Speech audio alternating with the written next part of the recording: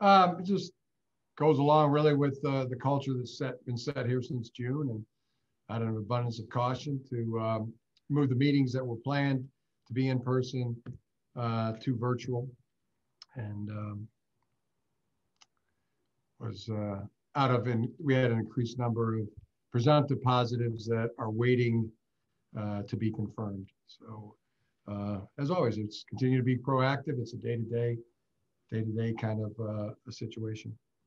It was concerning enough those that up that uptick in presumptive positives to obviously make the move today. When did that increase become concerning enough? Was there a concern that the game possibly wouldn't be played last last Saturday? No, no. That was uh, everything's happening in real time today. As as uh, um, you know, is concerned to you know, to think that it was a good idea to go virtually was today. How, how much optimism do you have that you will play this Saturday? Uh, you just await, you await the, you know, wait the, um, await the confirmatory tests and, and, uh, you know, continue to be proactive. That's, um, you know, that's a, that's a day to day. We'll wait for the results to come back.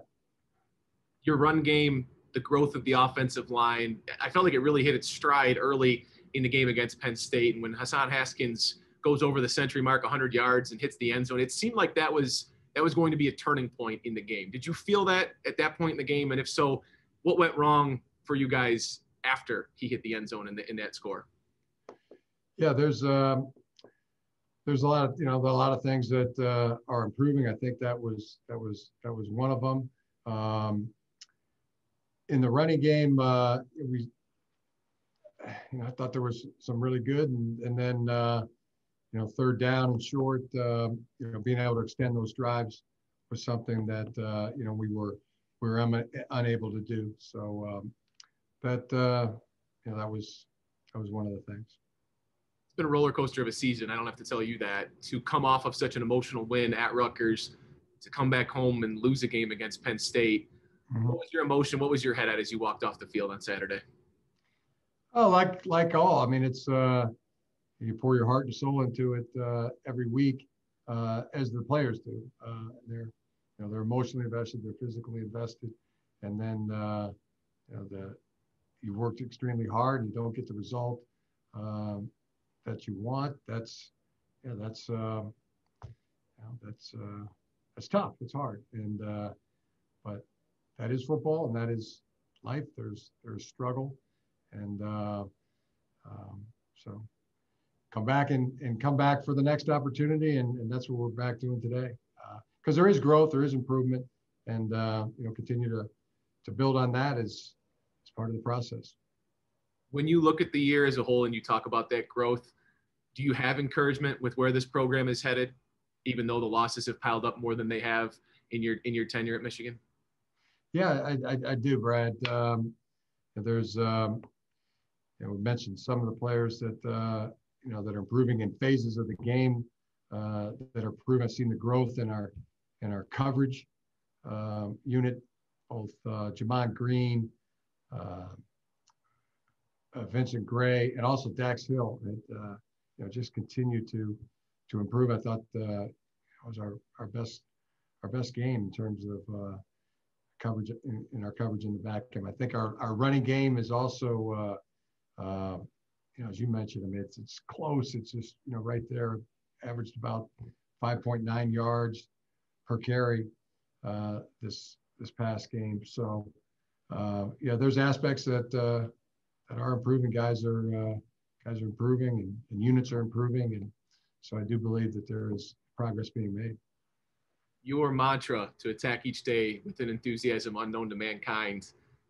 2020 has affected us all in, in, different ways, but in negative ways, certainly. Has this year, have the limitations on what you can do on a day to day process with your team, has it deflated even a little bit of that enthusiasm as much as you've tried to prevent it from doing so? No, no, it has not. How have you maintained that then? Because I think that's the challenge for all of us this year.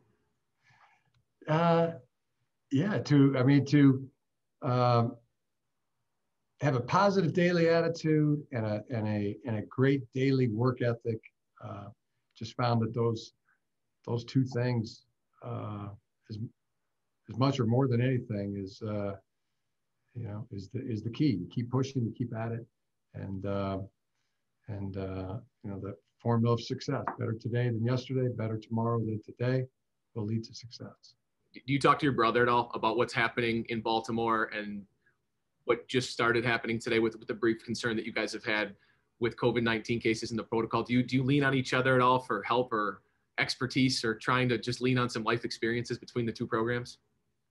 Yeah, we we talk uh, talk a lot, talk about all those things, football, uh, um, health, safety, uh, you know, and, and can see what's going on around the NFL today. Is uh, all the I think all the facilities are are shut down uh, today. So yeah, that that that seemed uh, didn't seem and was a good idea that uh, you know, we we did the same thing out of out of caution. So yeah, there's there's definitely conversations there.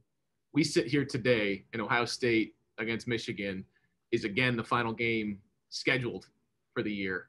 Um, if for whatever reasons, because of COVID shutdowns on their team, if something were to happen with your group, this game gets canceled or postponed on two Saturdays from now, would you protest to the Big Ten or try to talk to the Big Ten to say let's let's move the date uh, and, and to ensure that this game happens no matter what?